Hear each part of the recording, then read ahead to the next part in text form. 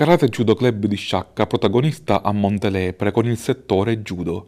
Gli atleti, guidati dall'allenatore Alberto Catanzaro, si sono ben disimpegnati ottenendo buoni risultati alla tappa regionale riservata alle categorie cadetti ed esordienti A. Tra i cadetti, buono ma un po' stretto il quinto posto di Giovanni Nicosia, che si è fermato in semifinale in una categoria molto numerosa.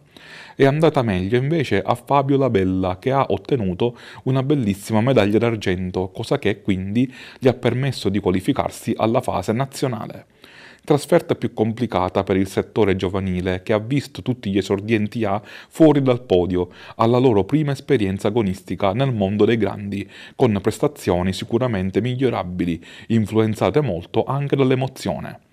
Proveremo a rifarci alla seconda tappa regionale, afferma l'istruttore seccense Alberto Catanzaro, ma adesso la testa è rivolta alla finale nazionale di Fabio Labella, che si terrà a Matera il prossimo 24 e 25 febbraio.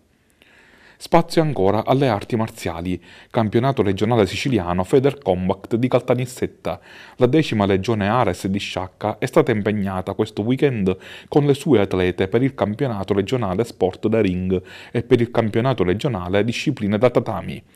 Nella giornata di sabato Elena Indelicato ha fatto il proprio esordio sul ring nella Muay Thai, disciplina che parte da antichissime tradizioni e in cui a Sciacca nessuna donna mai si era cimentata per indelicato un argento che sa di oro, poiché l'incontro è stato davvero molto combattuto, ma alla fine ha visto favorire l'atleta di casa.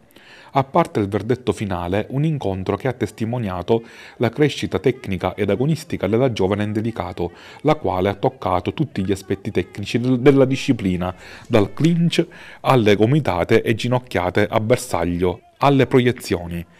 Per il campionato siciliano sport da tatami, il sodalizio guidato da Annalisa Labella ha centrato 4 ore di MMA con Elena Indelicato, Chiara Bono, Alice La Rosa e Teresa Parlato della Grace Barra Agrigento che si allena con decima legione Ares nella lotta olimpica e nella lotta a parete.